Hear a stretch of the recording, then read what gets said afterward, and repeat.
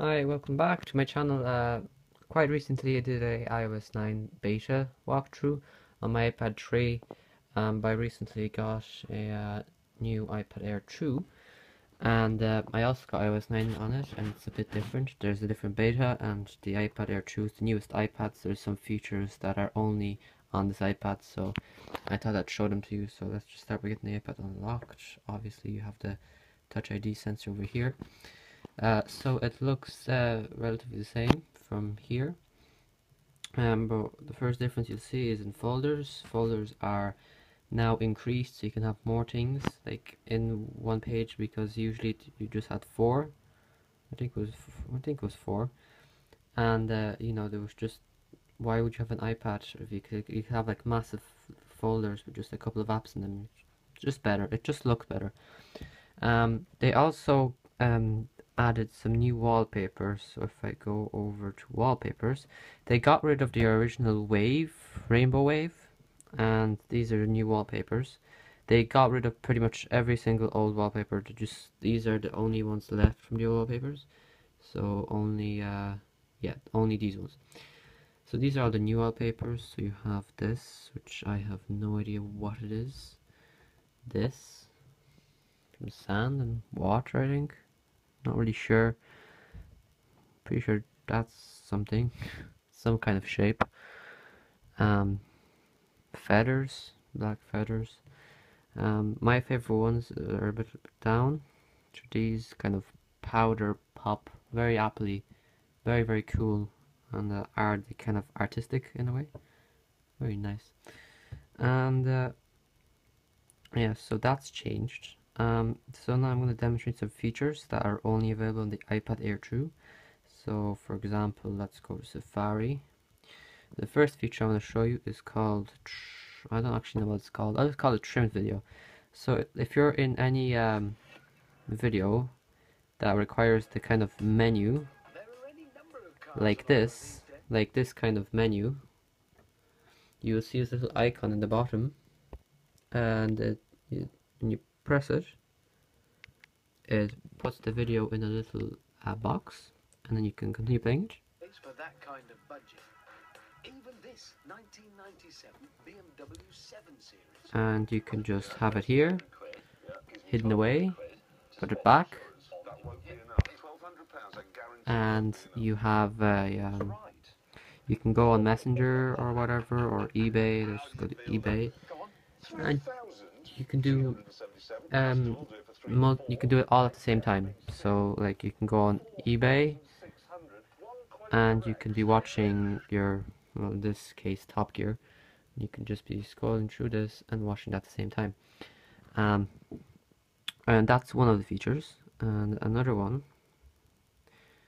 once again if you go to safari safari and if you pull on any app from here. You get a little app menu. So right now it's very limited. So let's just go to um, notes. Notes? So there you have your notes. That's my notes. And um, for example if the app supports you can see there's a little tab here. So if you pull it you have now a split screen view and you can view both of these at the same time. So you can uh, be watching something here and taking notes here. It's perfectly doable As you can see here. You can be writing here. Very very useful. Um, now um, you can't actually do that here but as I showed you the video can be displayed over here.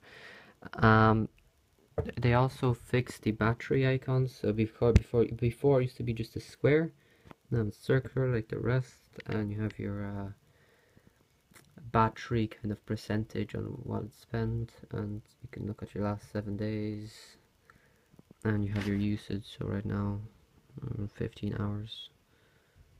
I um, I average about 15 hours of battery life with iOS 9 which is not actually that bad. It's pretty impressive.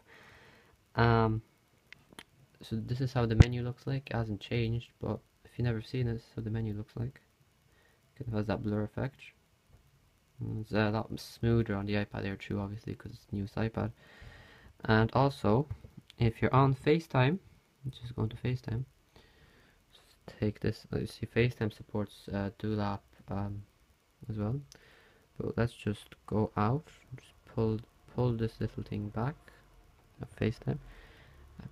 And if you FaceTime someone, mm, just give me a second.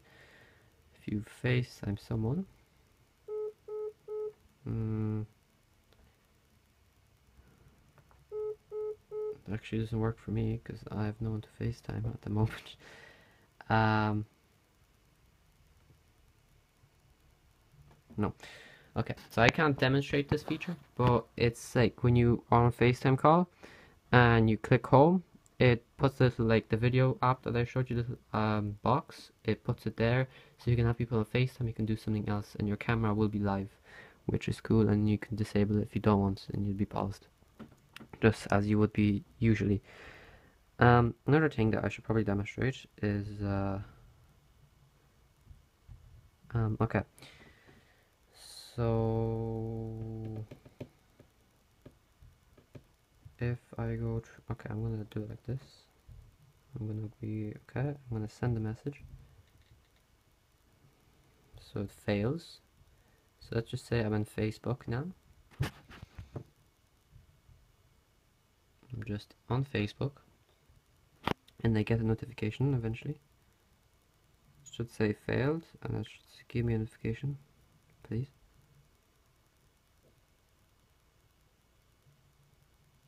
do it again because I think it didn't work. Still sending. Okay, maybe I should just talk about the feature because I don't think I can just do it normally. I can't. Okay, so let's just say you are in Facebook, like so, and you get a notification, for example, for iMessage. If you go to iMessage, it will have a little thing saying here. Go back to Facebook. I probably was in this video at one stage. And when you click it it brings you straight back to it without any lag. So it's really really useful handy. Um, so Apple Music has been improved now. So you can see I have Apple Music um, set up here. We have Oust every weekend play as I call it. Also I forgot to mention how uh, good the speakers on the iPad are. True, you can read it for yourself.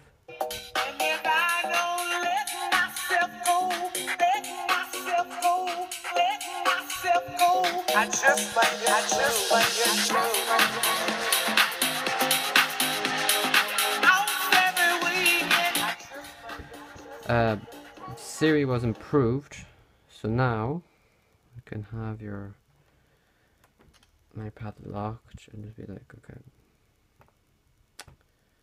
Oh yes, my Siri's down at the moment, but um, basically what you can do now is you can be like, hey Siri, uh, play um, the final countdown, and we'll go out to Apple Music, search final countdown, and play it for you in seconds. Just uh, very very nice, and it's just genuinely improved. If you didn't know, Apple Music is now available. It's just the music app. It's just changed. It's like Spotify now.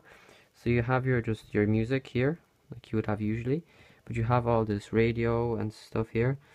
It's a monthly subscription. It's 10 euro for a month, but you have a three month free trial if you have an iDevice.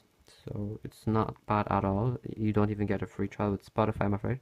I, I don't think so, anyways. And yeah, it has a lot of songs, and yeah, you can keep them in playlists, and it's always there with you. And um, okay, so that covers that. I'm trying to think to make sure I covered every feature. Um, notes supports the drawings, so you have this little ruler. Oh, there we go. We got the message now. okay, so we're going to demonstrate this feature now. As you can see, it says back to notes, and you click it, it takes you straight back to notes as if you didn't leave notes in the first place. So you have your you can have your little ruler here, and you can because you can see you can have your little angle wherever angle you want, and then you take your whichever one you want. I want a normal pen. Pick a color. I like this blue. and then just go on it and then you can draw a line like so and you also have your rubber so you can rub it off you can go erase all you have checkbox I showed all of this in my uh, iPad uh, 3 tutorial but I thought I'd show that in because I don't think I actually did uh, the sketches because it wasn't working back then um, this version of iOS 9 is very solid because one of the last beta versions, iOS 9 should be out pretty soon. I'm pretty sure it's out next month. Um, so yeah, that's all for now, I'm pretty sure. Um, that's everything I want to cover.